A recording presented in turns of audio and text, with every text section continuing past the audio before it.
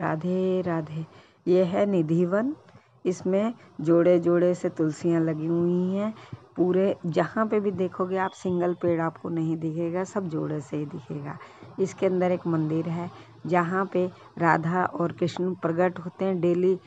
शाम को आप सब चीज़ रखोगे, उनका बिस्तरा भी लगता है, उनका भोग भी लगता है, उनके दातुन, लोटा, सब कुछ रखा जाता है पानी के लिए। और सुबह आप देखोगे ना तो वहाँ पे सब चीज़ें यूज़ हुई होती है। पान का बीड़ा भी चबाया हुआ होता है।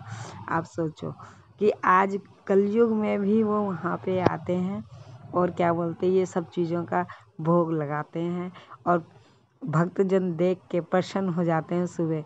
राधा रानी के तो लिए किसी ने पायल रखी थी। कहते हैं कि सुबह देखते हैं पहनेंगी कि नहीं पहनेंगी।